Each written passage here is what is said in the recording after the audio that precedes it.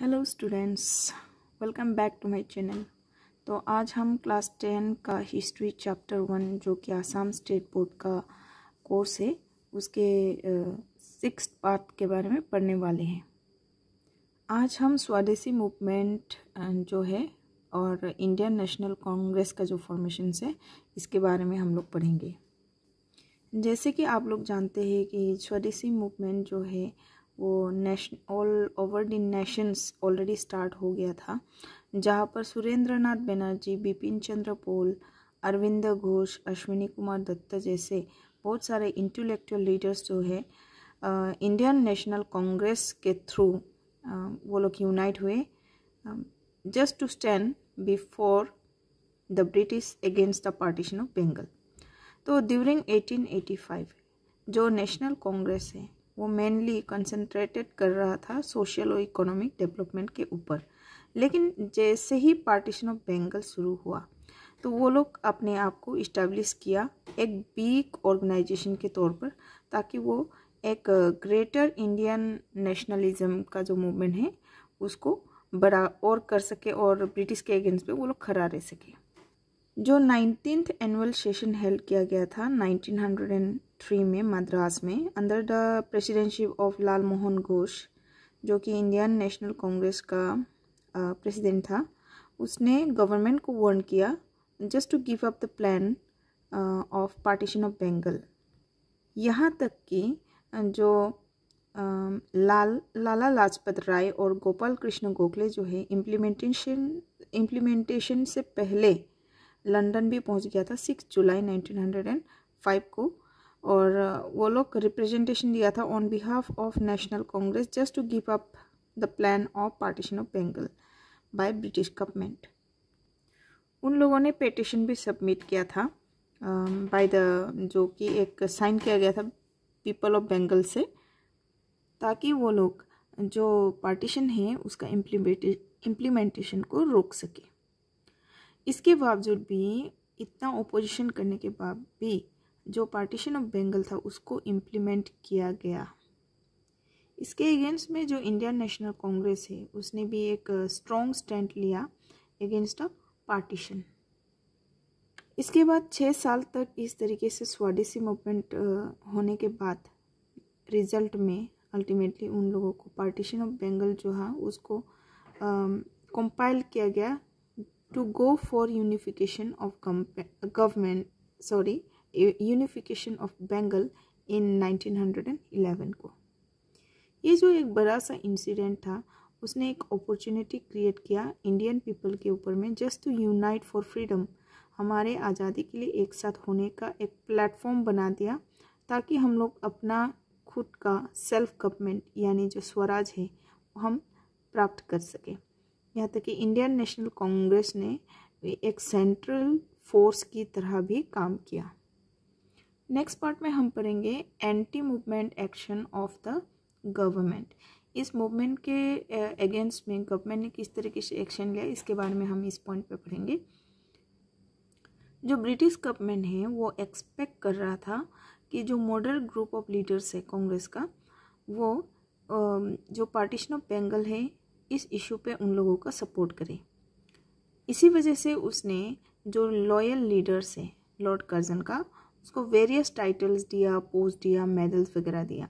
लेकिन जो मॉडरेट कांग्रेस जो है आ, उन लोगों को जब ऑफ़र दिया गया था पोस्ट ऑफ़ जज high court member of British parliament member of viceroy council etcetera इस तरीके का सपोर्ट पाने के लिए ताकि वो लोग जो पार्टीशन ऑफ़ बंगाल है उसके अगेंस्ट पे खड़ा ना रहे और ब्रिटिश का साइड दे। लेकिन in spite of this policy जो लॉर्ड कर्जन का जो पॉलिसी है, वो फेल्ड हो गया। तो एंटी पार्टीशन मूवमेंट के अगेंस्ट में स्टेप लेने के बावजूद भी इतना सारा जो टाइटल्स है पोस्ट है, वो क्रिएट करने के बावजूद भी लोग एक साथ होकर इसका अगेंस्ट भी खड़ा रहा। जो इस तरीके का जो अगेंस्ट हुआ ब्रिटिश के अगेंस्ट में मतलब इस तरीके का जो कांग्रेस लीडर्स जो है सुरेंद्र नाथ बनर्जी, जैसे गोपाल कृष्ण गोखले पार्टीशन ऑफ़ बंगाल के अगेंस्ट में जब वो खड़ा रहा, वो गवर्नमेंट के लिए एक ट्रैप सा सेट कर दिया। यहाँ तक कि जो बिपिन चंद्र पॉल जी हैं, उसने हर एक लीडर को अपना जो टाइटल पोस्ट ऑनर दिया गया है ब्रिटिश गवर्नमेंट को, उसको रिटर्न करने के भी रिक्वेस्ट किया। सबसे फ़र्स्ट में जो गोपाल कृष्ण गोखले जी है, उसी ने अपना जो टाइटल है नाइटहुड जो दिया गया है टाइटल ब्रिटिश से, उसको इमिडिएटली उसने रिटर्न कर दिया। नेक्स्ट पार्ट में हम पढ़ेंगे किस तरीके से स्वदेशी मूवमेंट ने कंट्रीब्यूशन किया है। तो स्वदेशी मूवमेंट नंबर वन पे ही है। स्वदेशी मूवमेंट जो है इंडियन जो पॉलिटिकल नॉलेज जो है रिगार्डिंग मैथ मूवमेंट इंडिया को एक अपॉर्चुनिटी दिया सीखने के लिए ताकि मेजोरिटी ऑफ़ द पीपल जो है एक साथ होकर, एक कॉमन कोज के लिए एक मैस मूवमेंट लाकर वो लोग सक्सेसफुल हो सके। एक प्लेटफॉर्म उन लोगों ने क्रिएट कर दिया। और दूसरी तरफ़ जो इंडियन नेशनल कांग्रेस है, एक इंसेप्शन फॉर्म किया, एक बिलीव फॉर्म किया कि पीसफुल डिमांड से भी इंडिया का डेवलपमेंट ला सकते हैं। जो पार्टीशन ऑफ़ बंगाल है, उसने एक आउटलुक में चेंजेस भी लाया। स्वदेशी मूवमेंट की वजह से रियलाइज़ हुआ है कि जो इंडिया का प्रोग्रेस जो है, वो पॉसिबल है only through the mass struggle यानी एक साथ एकजुट होकर अगर काम किया जाता है, तभी ये सक्सेसफुल होगा बोलकर उन लोगों को एक रियलाइजेशन दिला दिया, भरोसा दिला दिया। नंबर थ्री पॉइंट पे है जो वाइसरॉय का जो डिक्लेरेशन था पोस्ट ऑफ़ द वाइसरॉयस वो एडमिनिस्ट्रेशन एंड एक्सप्लोटेशन जो है, वो मतलब एक हाथ से दूसरे हाथ में जाएगा। तो इस तरीके का रेन ओवर हो गया।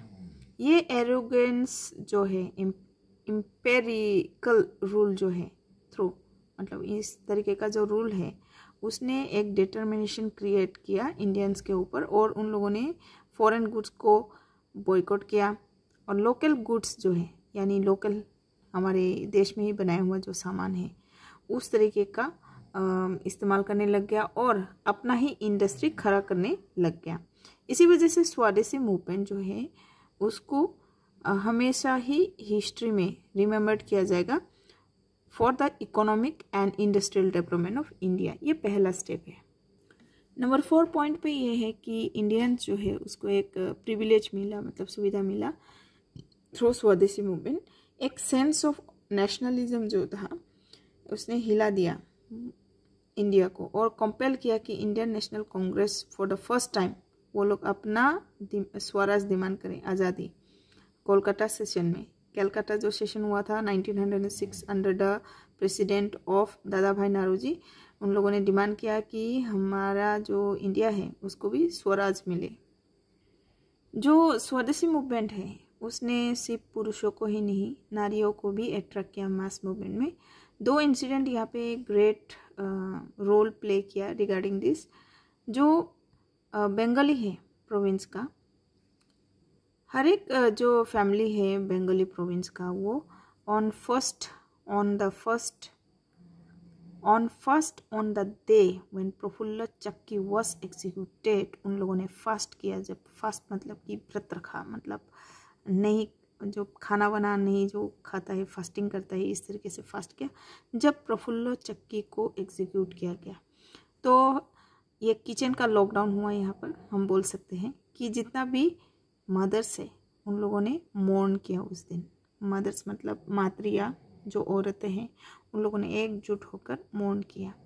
तो ये सेकंड इंसिडेंट जो था, वो पुलिस का जो टॉर्चर किया था भूपेंद्र नाथ दत्त जी को जो युगंतर का जो एडिटर है, उसको शार्प क्रिटिसिज्म करने के ऊपर उन लोगों, उसको जब पनिश टॉर्चर किया गया तो जो भुवनेश्वरी देवी जो है, उसका जो मदर है भूपेंद्र नाथ दत्त जी का, भुवनेश्वरी जी ने एक वुमेंस को एक साथ मिलाकर एक मैश वुमेन क्रिएट किया instead of weeping for the incident रोने के बदले उसके अगेंस्ट में खड़ा रहने के लिए उन, उसने सबको आह्वान किया और बहुत सारे वुमेन जो है इस मोमेंट में ज्वाइन किया।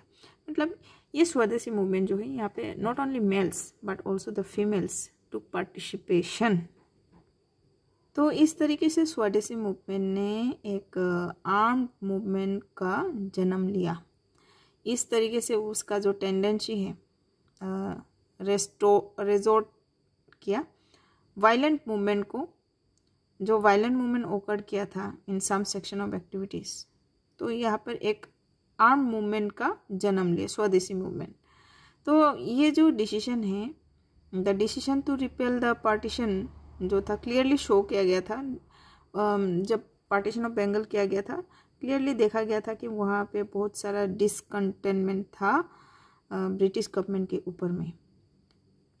लेकिन जो success story of Swadeshi movement का जो सक्सेस पार्ट था वो ये था कि इंडियंस लोगों को एक साइड जॉइन होकर स्ट्रेंथन होकर इंडियन फ्रीडम स्ट्रगल के लिए वो लोग अगेंस्ट में खड़ा रहा जिसका लीडर था महात्मा गांधी जी और the success of anti government partition movement जो था वो हमेशा ही इंडियन uh, हिस्ट्री में वो एक इवेंट सक्सेसफुल एक इवेंट रहा है जो कि इंडियन हिस्ट्री में एक फ्रीडम स्ट्रगल के तौर पर। ये एक सक्स द सक्सेस ऑफ़ इन यहाँ पे लास्टली लास्ट लाइन आप देख सकते हैं the success of anti partition movement हमेशा ही एक इम्पोर्टेंट इवेंट रहेगा इंडियन फ्रीडम का जो स्ट्रगल है इसमें। तो लास्टली हम लोग ये देख सकते हैं कि हम लोगों का जो इंडियन में स्ट्रगल मूवमेंट जो था, वो जो क्रिएशन हुआ था यूनाइटी यूनिटी की वजह से ही हम लोग सक्सेसफुल हो पाया। मतलब जितना भी कास्ट रिलीजन है, सब लोग एकजुट होने से हम लोगों का हमेशा ताकत बढ़ता है। हमारे सोशल साइंस में ये सब हिस्ट्री में हम लोग पहले से ही हम लोगों ने देखा है कि यूनाइट होने के बाद ही सक्सेसफुल हो सकता है। तो ये चैप्टर में हम लोगों का ये लास्ट पार्ट था। तो पहले का जो पार्ट का जो वीडियो से आप आगे देख सकते हैं। मैंने हर एक सेक्शन का अलग अलग पार्ट दिया है। आप पहले का वीडियो सिर्फ़ देखिए और समझिए, ये चैप्टर वन का एंडिंग पार्ट है। अगर हमारा वीडियो अच्छा लगा हो तो लाइक कीजिए सब्सक्राइब कीजिए और बेल आइकन को दबाइए ताकि आगे का जो नोटिफिकेशन है आपको टाइम पे मिल जाए। वीडियो को अंत तक देखने के लिए धन्यवाद।